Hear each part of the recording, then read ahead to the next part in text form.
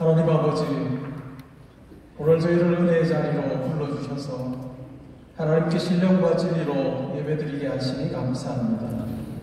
저희가 드리는 예배를 통해 하나님 홀로 영광 받으시고 여기 모인 저희 모두에게 하나님께서 예비하신 신령한 복을 허락하시고 저희의 심령이 기쁨으로 가득하게 하여 주옵소서.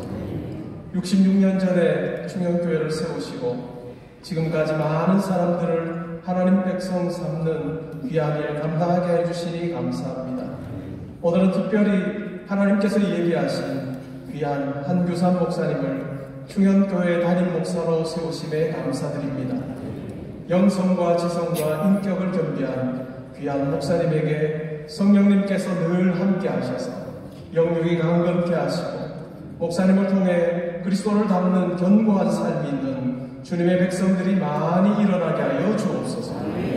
목사님과 충현교회와 성도님 한 분 한 분의 이름이 불릴 때마다 좋은 일로 존귀한 이름으로 불리게 하시고 언약 안에서 있는 견고한 미래 세대를 통해 하나님이 영광 받으시고 이 땅에 많은 이들이 유익을 얻게 하여 주옵소서. 한 목사님의 섬김과 사역을 하나님께서 귀히 사용하셔서 충현교회에 주신 이전의 영광보다 오늘 이후에 영광이 더 큰 복을 허락하여 주옵소서. 말씀 전하시는 총회장 목사님을 성령께서 항상 든든히 붙드시고 오늘 주시는 말씀을 우리 모두 마음에 새기고 삶에서 잘 실천하게 하여 주옵소서. 연합 찬양대와 오케스트라의 찬양을 하나님께서 기쁘게 받으시고 우리의 삶에서 찬양이 끊이지 않게 하시고 이 세상이 줄수 없는 기쁨을 누리며 살게 하여 주옵소서.